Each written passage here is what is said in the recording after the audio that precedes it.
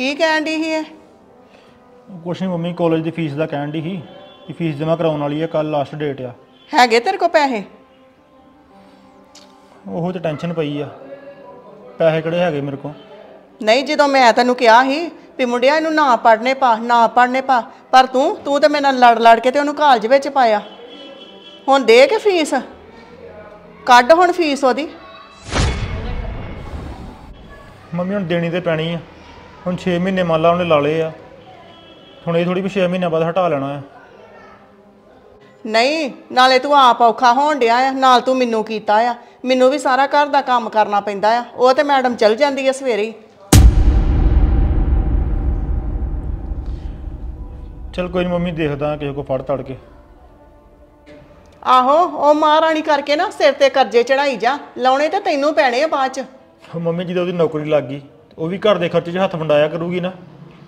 ਫਿਰ ਸਾਡੇ ਘਰ ਦਾ ਸਰਕਲ ਸੌਖਾ ਹੋਣਾ ਆ। ਆਹੋ ਆਹੋ ਬੜਾ ਹੋਣਾ ਆ।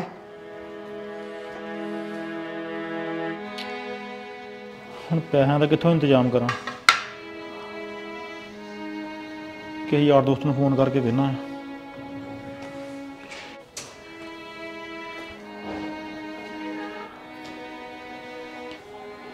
ਹੈਲੋ। ਹਾਂ ਤੇਜਿੰਦਰ ਕਿਦਾਂ? ਬਸ ਵਧੀਆ ਵਧੀਆ ਤੂੰ ਸੁਣਾ? ਬਾ ਵਧੀਆ ਵਧੀਆ। ਕਿੱਥੇ ਆ? ਮੈਂ ਘਰ ਹੀ ਆ।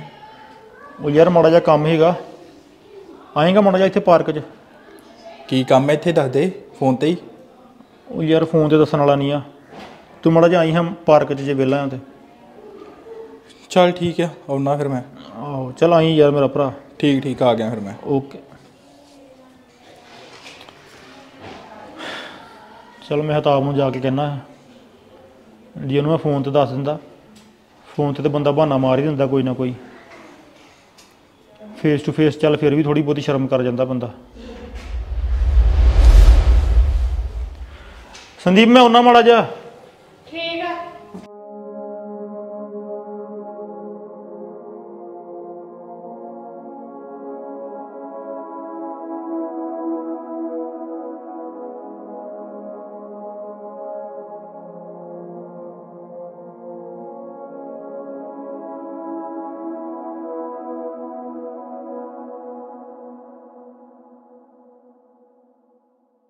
ਹਾਂ ਕਿਦਾਂ?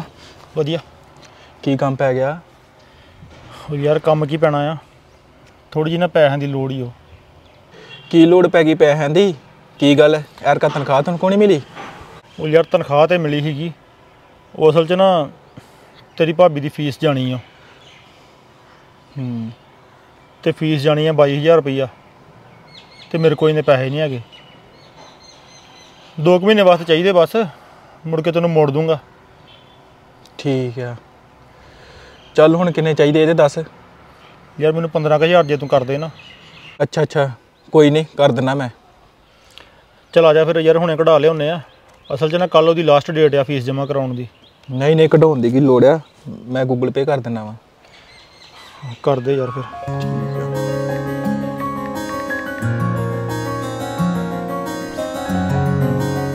ਆ ਗਏ। ਚੈੱਕ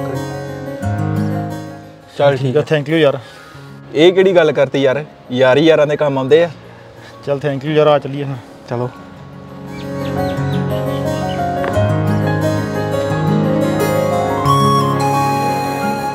ਉਹ ਸੱਚ ਯਾਰ ਇੱਕ ਗੱਲ ਹੋਰ। ਹੂੰ ਹੂੰ।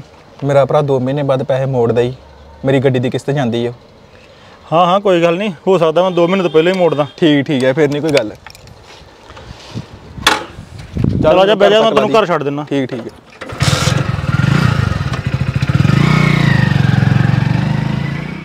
ਕਿੱਥੇ ਚਲ ਗਏ? ਤੁਸੀਂ ਦੱਸ ਕੇ ਵੀ ਨਹੀਂ ਗਏ ਕੁਝ? ਫੀਸ ਦਾ ਇੰਤਜ਼ਾਮ ਕਰਨ ਗਿਆ ਹੈਗਾ ਅੱਛਾ ਹੋ ਗਿਆ ਇੰਤਜ਼ਾਮ? ਹੋ ਗਿਆ। Thank you Tajinder. ਤੁਸੀਂ ਮੇਰੀ ਬਹੁਤ ਵੱਡੀ ਟੈਨਸ਼ਨ ਦੂਰ ਕਰਤੀ ਆ। ਮੈਨੂੰ ਆਪ ਪਤਾ ਕਿੰਨੀ ਟੈਨਸ਼ਨ ਹੁੰਦੀ ਸੀ ਕਿ ਐਗਜ਼ਾਮ ਉੱਤੋਂ ਸਿਰ ਤੇ ਆਉਂਦੇ ਆ ਲਾਸਟ ਡੇ ਆ ਕੱਲ। ਜੇ ਨਾ ਫੀਸ ਦਿੱਤੀ ਗਈ ਤੇ ਮੈਨੂੰ ਸਟੱਡੀ ਵਿੱਚ ਹੀ ਨਾ ਛੱਡਣੀ ਪਏ ਕਿਤੇ। ਯਾਰ ਸਟੱਡੀ ਕਿਉਂ ਛੱਡਣੀ ਆ? ਜੇ ਤੈਨੂੰ ਟੈਨਸ਼ਨ ਹੈ ਨਾ ਟੈਨਸ਼ਨ ਮੈਨੂੰ ਵੀ ਬੜੀ ਹੈਗੀ ਪਰ ਹੁਣ ਹੋ ਗਿਆ ਵਾ ਹੱਲ ਸਵੇਰੇ ਆਪਾਂ ਫੀਸ ਜਮ੍ਹਾਂ ਕਰਾਵਾਂਗੇ। ਠੀਕ ਹੈ ਤੇ ਮੇਰੀ ਬਹੁਤ ਵੱਡੀ ਟੈਨਸ਼ਨ ਦੂਰ ਕੀਤੀ ਆ। ਹਾਂ ਰੋਟੀ ਰੋਟੀ ਖਾ ਲਈ? ਹਾਂਜੀ ਮੈਂ ਤੇ ਖਾਲੀ ਆ। ਲੈ ਕੇ ਆਵਾਂ ਤੁਹਾਡੇ ਵਾਸਤੇ? ਹਾਂ ਹਾਂ ਲੈ ਆ ਯਾਰ ਭੁੱਖ ਬਹੁਤ ਲੱਗੀ ਆ। ਚਲੋ ਠੀਕ ਆ। ਤੇ ਵੈਸੇ ਉਹ ਕਹਾਵਤ ਸੁਣੀ ਨਹੀਂ ਤੁਸੀਂ? ਉਹ ਕਹਿੰਦੇ ਹੁੰਦੇ ਨਾ ਇੱਕ ਕਾਮਯਾਬ ਬੰਦੇ ਪਿੱਛੇ ਇੱਕ ਔਰਤ ਦਾ ਹੱਥ ਹੁੰਦਾ। ਪਰ ਤੁਸੀਂ ਉਹ ਕਹਾਵਤ ਨੂੰ ਉਲਟ ਕਰਤਾ ਅੱਜ। ਇੱਕ ਕਾਮਯਾਬ ਔਰਤ ਪਿੱਛੇ ਨਾ ਇੱਕ ਬੰਦੇ ਦਾ ਹੱਥ ਆ। ਚੱਲ ਚੱਲ ਠੀਕ ਆ ਰੋਟੀ ਲਿਆ ਦੇ। ਲੈ ਕੇ ਆਣੀ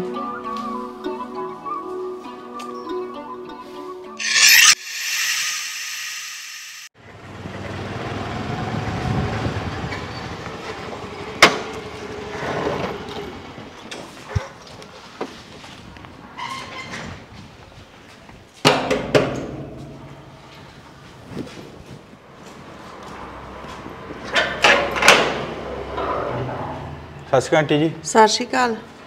ਆਂਟੀ ਤੇਜਿੰਦਰ ਕਿੱਥੇ ਜੇ? ਉਹ ਤੇ ਘਰ ਨਹੀਂ ਹੈਗਾ ਗਿਆ ਕਿਤੇ। ਆਂਟੀ ਉਹ ਰਹਿੰਦਾ ਕਿੱਥੇ ਆ? ਨਾ ਉਹ ਮੇਰਾ ਫੋਨ ਚੁੱਕਦਾ ਵਾ ਜੇ ਅੱਜ ਮੈਂ ਘਰ ਆਇਆ ਤੇ ਘਰ ਹੈ ਨਹੀਂ ਆ। ਮੈਂ ਦੱਸੋ ਕਿੱਧਰ ਨੂੰ ਜਾਵਾਂ? ਪੁੱਤ ਗੱਲ ਤੇ ਦੱਸ ਗੱਲ ਕੀ ਹੋਈ ਆ?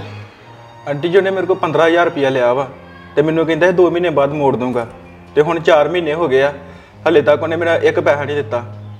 ਗੱਡੀ ਦੀ ਕਿਸ਼ਤ ਦੇਣੀ ਆ ਉਹ ਵੀ ਖਰਾਬ ਹੋ ਗਈ ਮੇਰੀ। ਚੱਲ ਕੋਈ ਨਹੀਂ ਆਉਂਦਾ ਤੇ ਮੈਂ ਕਹਿ ਦੇਣੀ ਉਹਨੂੰ। ਮੇਰੀ ਗੱਲ ਕਰਾਓ ਮਾੜੀ ਜੀ ਉਹਦੇ ਨਾਲ। ਗੱਲ ਉਹਨੇ ਹੁਣ ਫੋਨ ਨਹੀਂ ਚੁੱਕਣਾ ਕੰਮ ਤੇ ਆ। ਕਿੱਥੇ ਕੰਮ ਕਰਦਾ? ਉੱਥੇ ਚਲ ਜਾਣਾ ਮੈਂ। ਉਹ ਤੇ ਮੈਨੂੰ ਵੀ ਨਹੀਂ ਪਤਾ ਵੀ ਕਿੱਥੇ ਕੰਮ ਕਰਦਾ ਆ। ਕੋਈ ਨਹੀਂ ਸ਼ਾਮ ਨੂੰ ਉਹਨੇ ਘਰੇ ਆਉਣਾ ਆ। ਆਂਟੀ ਆਊਗਾ ਤੁਹਾਨੂੰ ਮੇਰਾ ਸੁਣਾ ਦੇ ਦਿਓ ਕਿ ਮੈਂ ਤਾਬ ਆਇਆ ਸੀ ਕਿ ਮੇਰੇ ਪੈਸੇ ਮੋੜ ਦੇ। ਉਹ ਨਾ ਹੋਵੇ ਮੈਨੂੰ ਦੂਜੇ ਤਰੀਕੇ ਨਾਲ ਕਢਾਉਣੇ ਪੈਣ ਫਿਰ। ਕੋਈ ਗੱਲ ਨਹੀਂ ਪੁੱਤ ਤੂੰ ਗੁੱਸੇ 'ਚ ਨਾ ਆ ਮੈਂ ਕਹਿ ਦਾਂਗੀ ਸੁਣਾ ਤੇਰਾ ਦੇ ਦਾਂਗੀ। ਠੀਕ ਹੈ ਫਿਰ।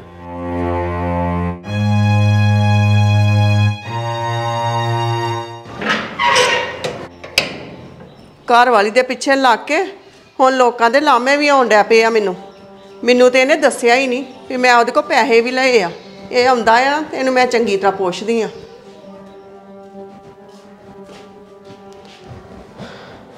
ਅਸੀਂ ਅਜੇ ਤੱਕ ਨਾ ਇਦਾਂ ਦਾ ਕੋਈ ਕੰਮ ਨਹੀਂ ਕੀਤਾ ਵੀ ਕੋਈ ਸਾਡੇ ਕੋਲ ਨਾ ਬੂਹੇ ਤੇ ਆ ਕੇ ਪੈਸੇ ਮੰਗੇ ਤੇ ਆਹ ਮੁੰਡਾ ਵੇਖ ਲਾ, ਕਿੰਨੀਆਂ ਗੱਲਾਂ ਸੁਣਾ ਕੇ ਤੇ ਗਿਆ ਈ ਓ। ਉਹ ਵੀ 4 ਮਹੀਨੇ ਹੋ ਗਏ ਆ ਪੈਸੇ ਲਿਆ ਨੂੰ ਤੇ ਮੁੰਡੇ ਨੇ ਅਜੇ ਤੱਕ ਨਹੀਂ ਮੈਨੂੰ ਦੱਸਿਆ। ਕਦੀ ਇਹਨੇ ਲੁਕਾ ਨਹੀਂ ਰੱਖਿਆ ਮੇਰੇ ਮੁੰਡੇ ਨੇ ਤੇ ਮੇਰੇ ਕੋ ਤੇ ਹੁਣ ਤੇ ਆ ਆਪਣੀ ਘਰ ਵਾਲੀ ਦੇ ਮਗਰ ਲਾ ਕੇ ਤੇ ਲੁਕਾ ਵੀ ਰੱਖਣ ਡਿਆ ਪਿਆ। ਮੈਨੂੰ ਦੱਸਿਆ ਹੀ ਨਹੀਂ।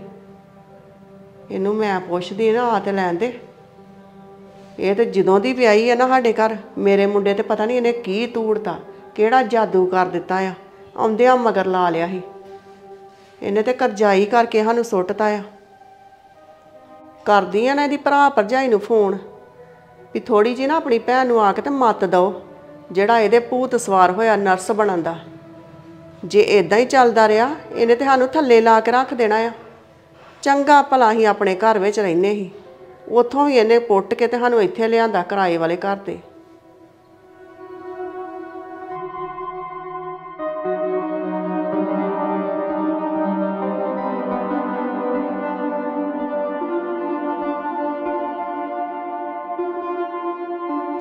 ਹੈਲੋ? ਸਤਿ ਸ਼੍ਰੀ ਅਕਾਲ ਮਾਸੀ ਜੀ ਕੀ ਹਾਲ ਸਤਿ ਸ਼੍ਰੀ ਜੇ ਅਕਾਲ। ਸੋਨੂੰ ਕੀ ਹਾਲ ਆ? ਮੈਂ ਵਧੀਆ ਵਧੀਆ। ਤੁਸੀਂ ਸੁਣਾਓ ਠੀਕ ਹੋ? ਹਾਂ ਹਾਂ ਠੀਕ ਆ ਅਸੀਂ ਵੀ। ਤੇ ਸੋਨੂੰ ਮੈਂ ਤੈਨੂੰ ਕਹਿਣਾ ਸੀ, ਤੇਰੇ ਕੋਲ ਜੇ ਟਾਈਮ ਹੈਗਾ ਤੇ ਕੱਲ ਨੂੰ ਘਰ ਆਵੀਂ ਹਾਂ। ਅਹ ਮਾਸੀ ਜੀ ਕੀ ਗੱਲ ਕੋਈ ਜ਼ਰੂਰੀ ਕੰਮ ਜੇ? ਐਡਾ ਵੀ ਕੋਈ ਜ਼ਰੂਰੀ ਕੰਮ ਨਹੀਂ ਆ। ਮੈਂ ਨਾ ਸੰਦੀਪ ਬਾਰੇ ਗੱਲ ਕਰਨੀ ਸੀ। ਅੱਛਾ ਸੰਦੀਪ ਬਾਰੇ? ਕੋਈ ਗੱਲ ਨਹੀਂ ਜੇ ਜ਼ਿਆਦਾ ਜ਼ਰੂਰੀ ਆ ਤੇ ਆਪਾਂ ਸ਼ਾਮ ਨੂੰ ਹੀ ਆ ਜਾਂਦੇ ਮਾਸੀ ਜੀ ਤੁਹਾਡੇ ਵੱਲ। ਚੱਲ ਵੇਖ ਲਾ ਪੁੱਤ ਜੇ ਟਾਈਮ ਹੈਗਾ ਨਾ ਤੇ ਦੋਵੇਂ ਜੀ ਆ ਜਿਓ ਫਿਰ। ਚਲੋ ਠੀਕ ਆ ਮਾਸੀ ਜੀ ਮੈਂ ਸ਼ਾਮ ਨੂੰ ਆਉਣਾ 4 ਵਜੇ ਨਾਲ ਤੁਹਾਡੇ ਘਰ। ਚੰਗਾ। ਓਕੇ ਸਤਿ ਸ਼੍ਰੀ ਅਕਾਲ ਮਾਸੀ ਜੀ। ਸਤਿ ਸ਼੍ਰੀ ਅਕਾਲ। ਆ ਲੈਣ ਦੇ ਇਹਨਾਂ ਨੂੰ। ਦੱਸਣੀ ਹੈ ਨਾ ਇਹਦੇ ਭਰਾ ਭਰਜਾਈ ਨੂੰ ਇਹਦੀਆਂ ਕਰਤੂਤਾਂ। ਚੰਗੀ ਤਰ੍ਹਾਂ।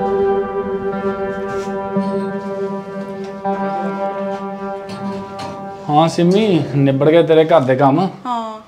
ਉਹ ਮੈਂ ਕਿਹਾ ਮੈਨੂੰ ਨਾ ਸੰਦੀਪ ਦੇ ਸਹੁਰਿਆਂ ਦਾ ਫੋਨ ਆਇਆ ਹੈ ਅੱਛਾ। ਤੇ ਉਹਦੀ ਸੱਸ ਕਹਿੰਦੀ ਸ਼ਾਮ ਨੂੰ ਆਇਓ ਮੈਂ ਕੋਈ ਸੰਦੀਪ ਬਾਰੇ ਤੁਹਾਡੇ ਨਾਲ ਜ਼ਰੂਰੀ ਗੱਲ ਕਰਨੀ ਹੈ ਚਲ ਚੱਲ ਜਾਾਂਗੇ ਫਿਰ। ਉਹ ਤਾਂ ਚੱਲ ਜਾਗਾ ਮੈਨੂੰ ਤਾਂ ਟੈਨਸ਼ਨ ਪੈ ਗਈ ਆ ਪਤਾ ਨਹੀਂ ਇੱਕਦਮ ਉਹਨੇ ਕੀ ਗੱਲ ਕਰਨੀ ਆ ਉਹਨਾਂ ਸਾਡੇ ਨਾਲ। ਤੇ ਤੂੰ ਠੀਕ ਆ ਫਿਰ ਰੈਡੀ ਰਹੀਂ। ਕੋਈ ਨਹੀਂ ਮੈਂ ਰੈਡੀ ਹਾਂ ਇਦਾਂ ਹੀ ਚੱਲ ਜਾਾਂਗੇ ਫਿਰ। ਚੱਲ ਫਿਰ ਚੱਲਦੇ ਆ ਘੰਟੇ ਕੁ ਤੱਕ ਠੀਕ ਆ? ਹਾਂ ਚਲੋ ਠੀਕ। ਤੇ ਮੈਨੂੰ ਜਰਾ ਕੰਮ ਹੈ ਥੋੜਾ ਜਿਹਾ ਤੇ ਮੈਂ ਆਇਆ ਇੱਕ ਮਿੰਟ ਚ। ਹਾਂ ਠੀਕ ਆ।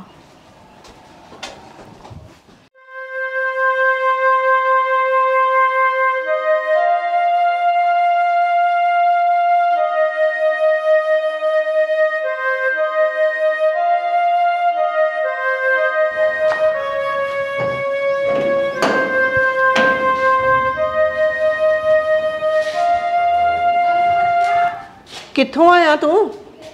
ਕੱਪੜੇ ਵੀ ਨਹੀਂ ਬਦਲੇ ਡਿਊਟੀ ਤੋਂ ਆ ਕੇ ਤਾਂ ਇਦਾਂ ਹੀ ਬਾਹਰ ਤੁਰ ਪਿਆ ਤੂੰ। ਪੈਸੇ ਤਾਂ ਨਹੀਂ ਮੰਗਣ ਗਿਆ ਕਿਸੇ ਕੋ ਮੰਮੀ ਇਹ ਕੀ ਕਹਿਣ ਡਈ ਆ ਤੂੰ? ਮੈਨੂੰ ਨਾ ਸਭ ਪਤਾ ਲੱਗ ਗਿਆ ਤੇਰੀਆਂ ਕਰਤੂਤਾਂ ਦਾ। ਕੀ ਪਤਾ ਲੱਗ ਗਿਆ ਮੇਰੀਆਂ ਕਰਤੂਤਾਂ ਦਾ? ਮਹਿਤਾਬ ਆਇਆ ਸੀ ਇੱਥੇ ਉਹ ਮੁੰਡਾ ਜਿਹਦੇ ਕੋਲੋਂ 4 ਮਹੀਨੇ ਹੋ ਗਏ ਆ ਪੈਸੇ ਲਿਆ ਨੂੰ। 15000 2 ਮਹੀਨੇ ਦੀ ਠੱਗੀ ਮਾਰ ਕੇ ਤੇ ਲੈ ਆਇਆ ਤੂੰ ਪੈਸੇ ਵੀ ਦੋਵਾਂ ਮਹੀਨਿਆਂ ਨੂੰ ਮੈਂ ਵਾਪਸ ਕਰ ਦਾਂਗਾ। ਤੇ ਮੈਂ ਕਿਹੜਾ ਨਸ਼ਾ ਕਰਦਾ ਕੋਈ? ਕਿਸੇ ਕੰਮ ਨੂੰ ਲਏ ਸੀ ਨਾ। ਸੰਦੀਪ ਦੀ ਫੀਸ ਜਮ੍ਹਾਂ ਕਰਾਉਣੀ ਸੀ ਤਾਂ ਪੈਸੇ ਚੁੱਕੇ ਸੀ ਉਹਦੇ ਕੋਲ। ਤੇ ਤੇਰਾ ਫਰਜ਼ ਨਹੀਂ ਬਣਦਾ ਮੈਨੂੰ ਦੱਸਣਾ। ਤੂੰ ਤੇ ਹੁਣ ਮੁੰਡਿਆ ਮੇਰੇ ਤੋਂ ਚੋਰੀਆਂ ਵੀ ਕਮਾਉਣ ਲੱਗ ਪਿਆ ਜਨਾਨੀ ਪਿੱਛੇ ਲੱਗ ਕੇ। ਤੇ ਲਾ ਦੂੰਗਾ ਮੰਮੀ ਉਹੋ ਹੀ ਪ੍ਰਬੰਧ ਕਰਦਾ ਫਿਰਨ ਡਿਆ ਵਾਂ। ਦੇ ਹੀ ਦੇਣੇ ਪੈਸੇ ਮੈਂ ਕਿਹੜਾ ਭੱਜ ਲਿਆ ਕਿਤੇ। ਨਹੀਂ ਹੋਰ ਕਿੰਨਾ ਕੁ ਕਰਜ਼ਾਈ ਹੋਣਾ ਆ ਤੂੰ? ਇਹ ਦੱਸ ਮੈਨੂੰ। ਉਹ ਮੰਮੀ ਮੈਂ ਕੋਈ ਕਰਜ਼ਾਈ ਨਹੀਂ ਹੋਇਆ। ਇਹੋ 15000 ਫੜਿਆ ਸੀ ਬਸ। ਉਹ ਵੀ ਦੇ ਦੂੰਗਾ ਤੇ ਥੋੜੇ ਥੋੜੇ ਕਰਕੇ। ਮੁੰਡਿਆ, ਇੰਨੀ ਉਮਰ ਹੋ ਗਈ ਆ, ਕਦੀ ਕੋਈ ਸਾਡੇ ਬੂਹੇ ਅੱਗੇ ਪੈਸੇ ਮੰਗਣ ਨਹੀਂ ਆਇਆ, ਪਰ ਉਹ ਮੁੰਡਾ ਇੱਥੇ 20 ਗੱਲਾਂ ਸੁਣਾ ਕੇ ਗਿਆ ਆ। ਉਹ ਵੀ ਕਿਹਦੇ ਵਜ੍ਹਾ ਨਾਲ? ਤੇਰੀ ਘਰ ਦੀ ਦੀ ਵਜ੍ਹਾ ਨਾਲ।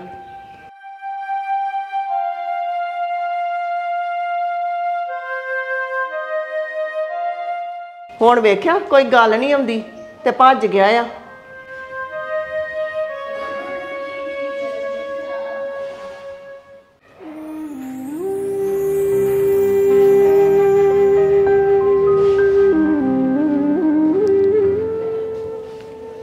ਤੁਸੀਂ ਮੇਰੀ ਫੀਸ ਦੇਣ ਲਈ ਕਰਜ਼ਾ ਚੁੱਕਿਆ?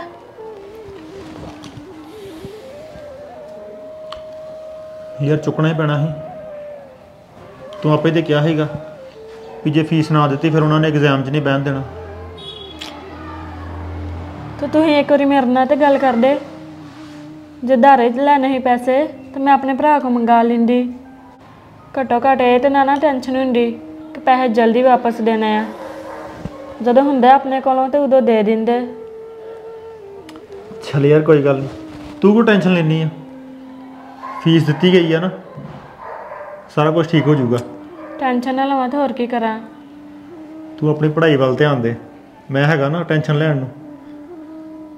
ਤੂੰ ਨਾ ਟੈਨਸ਼ਨ ਲੈ ਠੀਕ ਆ? ਚਲੋ ਠੀਕ ਆ। ਪਰ ਅੱਗੇ ਤੋਂ ਨਾ ਜੇ ਲੋੜ ਪਈ ਨਾ ਤੇ ਮੈਨੂੰ ਦੱਸ ਦਿਓ। ਮੈਂ ਆਪਣੇ ਭਰਾ ਨੂੰ ਕਹਿ ਦਾਂਗੀ। ਠੀਕ ਆ। ਚਲੋ ਤੁਸੀਂ ਬੈਠੋ ਮੈਂ ਚਾਹ ਬਣਾ ਕੇ ਲਿਆਉਣੀ ਆ। ਹਾਂ ਬਣਾ ਲਿਆ।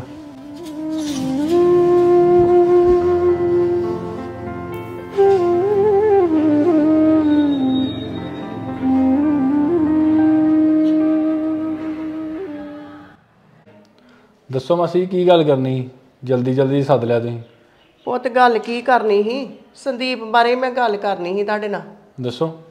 ਵੀ ਸੰਦੀਪ ਜਦੋਂ ਵਿਆਹੀ ਘਰ ਆਈ ਇਹਨੇ ਤੇ ਮੇਰੇ ਮੁੰਡੇ ਦੇ ਨਾ ਰਗਾਂ 'ਚ ਗੂਠ ਦੇ ਦਿੱਤਾ। ਇਦਾਂ ਦਾ ਕੀ ਕਰਦਾ ਹੁਣ ਮੇਰੀ ਭੈਣ ਨੇ? ਜਿਹੜਾ ਤੁਸੀਂ ਇੱਕਦਮ ਹੀ ਸੁਣਾਉਣ ਲੱਗ ਪਏ ਜੇ? ਆਉਂਦਿਆਂ ਆਂਦੀ ਵੀ ਬਸ ਮੈਨੂੰ ਨਾ ਕਾਲਜ ਪਾ ਦੇ ਮੈਂ ਤੇ ਪੜਨਾ ਆ ਆਉਂਦਿਆਂ ਤੇ ਰੁੱਸ ਰੁੱਸ ਪੈਵੇ ਵੀ ਮੈਨੂੰ ਕਾਲਜ ਪਾ ਮੈਨੂੰ ਕਾਲਜ ਪਾ। ਮੁੰਡੇ ਨੇ ਨਾ ਮੇਰੇ ਤੋਂ ਬੇਜੋਰ ਹੋ ਕੇ ਇਹਨੂੰ ਕਾਲਜ ਪਾਤਾ ਪੁੱਤ ਮੈਂ ਇਹ ਨਹੀਂ ਆਂਦੀ ਵੀ ਪੜਨਾ ਗਲਤ ਗੱਲ ਆ ਚੰਗੀ ਗੱਲ ਆ ਪੜਨਾ ਚਾਹੀਦਾ ਆ।